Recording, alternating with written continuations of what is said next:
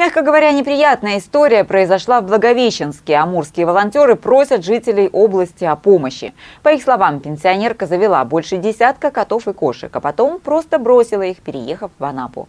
Как рассказывает соседка бывшей хозяйки усатых Елена, эта женщина, которой около 60 лет, снимала комнату в нашем общежитии и собирала бездомных животных. Жалко ей их было.